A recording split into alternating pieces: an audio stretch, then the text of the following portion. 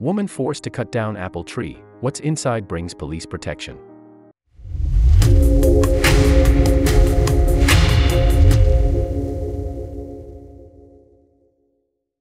It was supposed to be a simple job.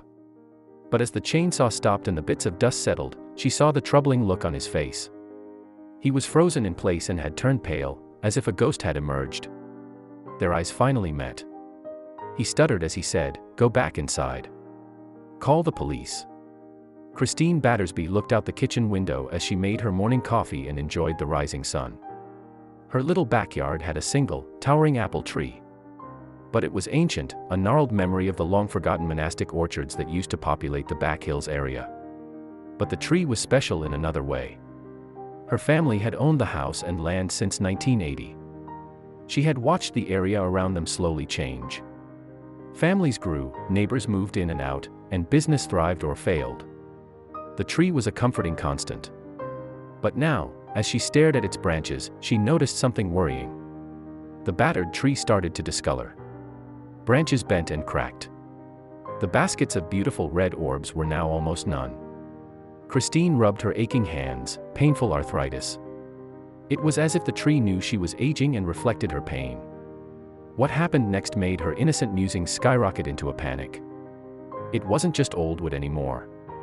A small patch of disease appeared from the roots and crawled up the trunk. Strange white fuzz bloomed and the fruit turned into mushy lumps. It was dying.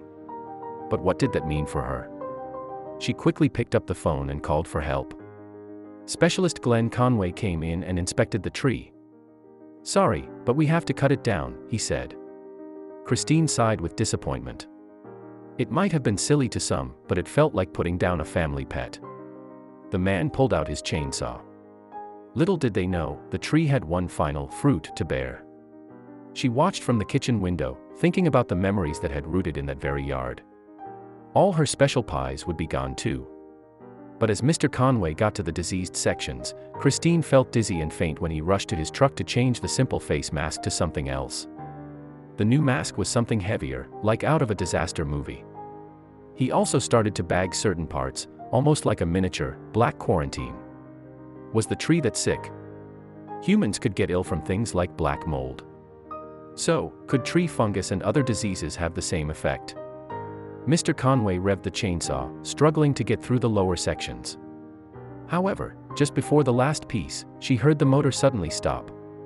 The lowest part of the tree was completely hollow. Whatever had happened morphed the man's expression from surprise to fear. He slowly stepped away. His face went bone white. Christine opened the door so she could take a look, but he held out his hand. Stay inside. Stay away from the windows. She watched him run behind his truck and pull out his phone. She sat at the kitchen table, biting her nails. His muffled voice floated over the wind.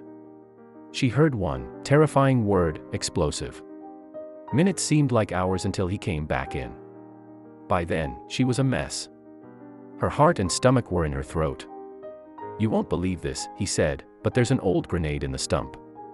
Christine let out a small scream and steadied herself from passing out. A grenade. But how? That tree had been there forever. It wasn't long before cruisers pulled in and police started to roll out yellow tape around her property. There she sat, in the middle of a crime scene, brewing coffee for everyone who showed up as well as begging for information. One officer was kind enough to snap a photo for her.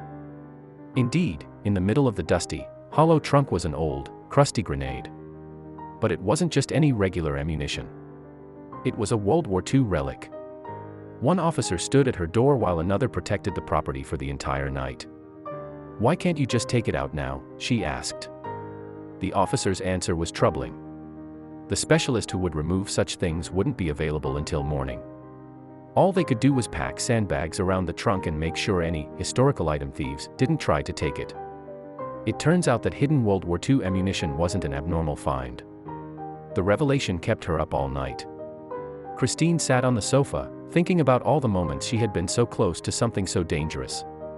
Every time she had nudged it with her lawnmower or watched her children climb it, the idea made her nauseous. What else was hiding and waiting below the layers of rock and dirt?